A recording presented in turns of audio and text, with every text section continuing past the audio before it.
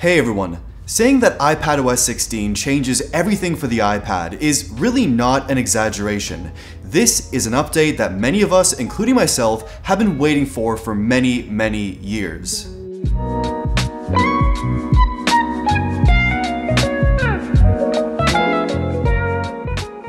Okay, so what's the deal with iPadOS 16? Why should you care about this software update as a current iPad owner or future iPad owner? Well, first of all, you're getting all of those main iOS 16 features that Apple talked about that are on the iPhone, except for the new lock screen and some of those tweaks. Unfortunately, they're not coming to the iPad, at least for now. But besides that, there are really some great iOS 16 features you're going to be getting on your iPad. But where it gets really exciting are those iPad specific features. So first up and most exciting is Stage Manager, which is basically Apple's marketing term for having floating windows and resizable windows on the iPad, finally. Now, split screen multitasking isn't going anywhere, it's still there if you want it, but when you want to activate Stage Manager, it's as simple as tapping this small button in the control center, you tap it, and then it's activated.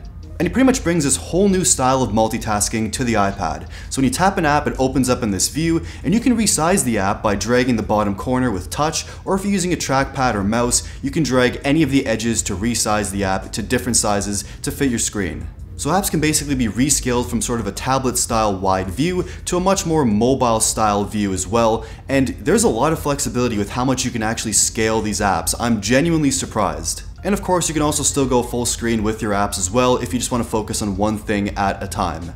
And then if you drag another app into this view, it'll open up as a floating window as well. And you can have about four apps open at the same time where you can kind of see everything. Some stuff overlaps, but you can really get a good little setup going here with multitasking. And if you open up any more apps, they'll end up in this little side pane on the left. And you can swap between apps you have open in a multitasking group or single apps simply just by tapping between them. It's easy, works pretty well. And these floating windows work as you'd hope and expect mostly. The windows themselves are not actually freeform like a desktop computer or Samsung DeX. The scaling and positioning is kind of in different levels basically. So you can't just scale or position an app anywhere on the screen, they're kind of in different levels of how much you can actually move or adjust the size of these windows, which personally I thought I would hate at first, but honestly, I don't mind. The feature does actually work pretty well. Now, I've been using iPadOS 16 over the past few weeks, and at first, I thought Stage Manager was kind of clumsy and clunky and just annoying to use, but now, I love using it. It's great, it's genuinely useful, and I've really gotten the hang of how to master these floating windows and how to make it all work for my workflow. And pretty much all the apps I've tried with Stage Manager so far, whether they're optimized or not, work fairly well. Now, some apps can't be resized to a smaller window, like Affinity Photo for example, but those apps make sense for having a larger window size. But mostly here, everything's resizable, everything works pretty well, third-party apps, Apple apps, I haven't really had too many issues with Stage Manager. This all being said though, it definitely has to be simplified and cleaned up a little bit, things have to be a bit more consistent, but overall, I'm very happy that floating windows are finally on iPadOS. There's also a new UI scaling feature for the iPad called More Space. Because you're going to have a lot of windows and things open all at once, you're going to want to have apps and text scale better for your iPad's display. And this new setting basically does that and does it very well. Apps, text, images, everything just scales much better on your iPad's display with this setting checked off.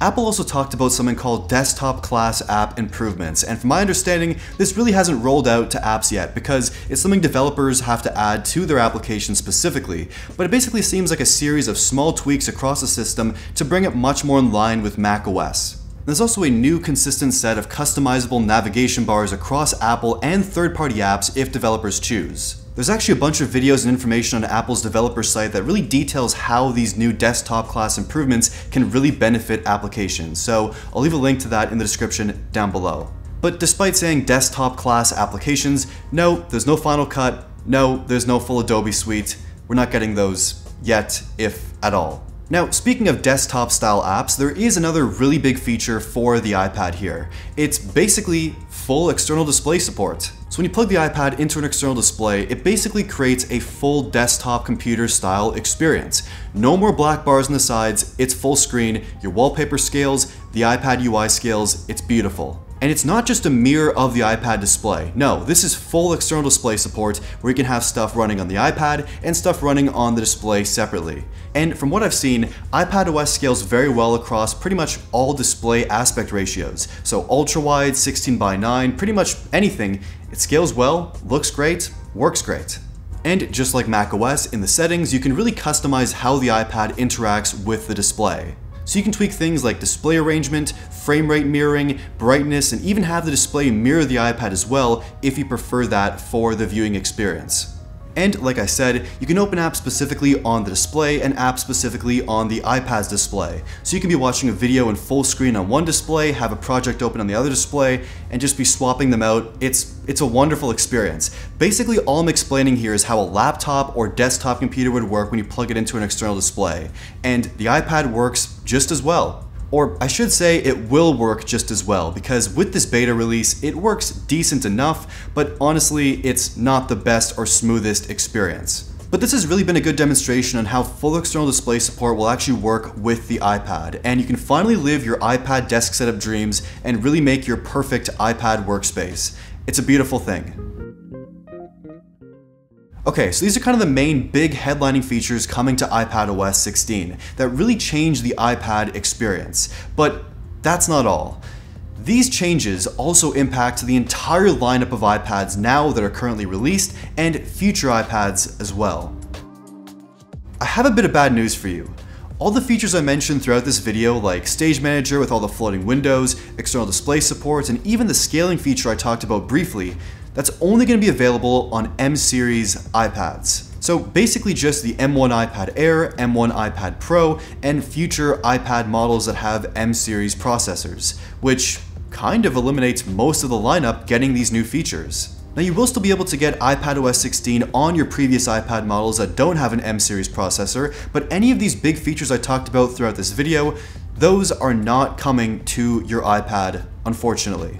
So basically if you have the 2018 iPad Pro, 2020 iPad Pro, base model iPad, the previous iPad Air, and even the new iPad mini, they're not getting any of these big new features. And it basically feels like you're getting half a software update when you get iPadOS 16 for these previous iPad models. And it really is quite sad and disappointing, especially if you just bought a new iPad mini or refurbished 2020 iPad Pro, which you might have thought, these are future-proof, they're gonna get all the new features.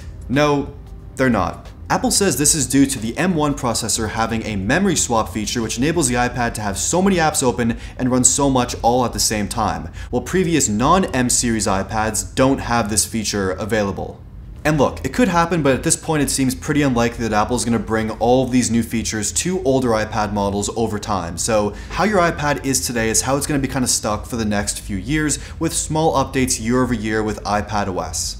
Now, I'm gonna give Apple the benefit of the doubt. I'm sure that these new iPadOS software features, especially with multitasking, are very processor intensive. But at the same time, it's very convenient that now Apple finally has a reason to convince you to upgrade your iPad to a newer model. Especially with this year's rumored M2 iPad Pro, it's gonna be a pretty big upgrade as well. Like I've said a few times, it definitely is disappointing, but from Apple's perspective, it certainly does make a lot of sense. But despite all of this, overall, no matter what iPad model you have, I definitely recommend upgrading to iPadOS 16 when it comes available. There are some really great features and enhancements from iOS 16 that are making their way to the iPad as well, which is great. And if you have one of the new compatible models, getting things like Stage Manager and external display support and some of the other desktop class improvements and scaling, those are some wonderful features that are finally here on the iPad.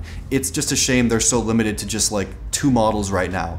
Either way, let me know your thoughts on iPadOS 16 in the comments down below. What do you think of the new limitations on which iPads can get some of the new features? And also, just tell me how your day's going, honestly. Love to hear it. Like the video if you liked it, subscribe, and thank you for watching.